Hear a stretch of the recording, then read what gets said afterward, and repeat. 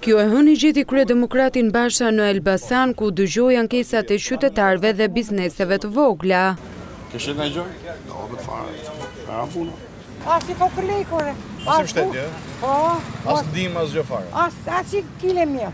Lideri i opozitës u premtoi qytetarëve se me ardhjen e Partisë Demokratike në pushtet, qeveria do të jetë në krah të biznesit dhe jo në shërbim të oligarkëve.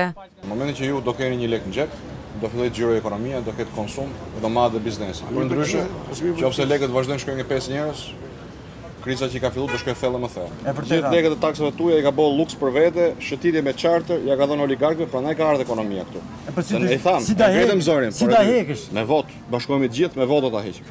Një ditë më parë, Basha u shpreh se Partia Demokratike do ndërtojë një platformë ekonomike për daljen e vendit nga kriza, të cilën do ta konsultojë në të gjithë vendin.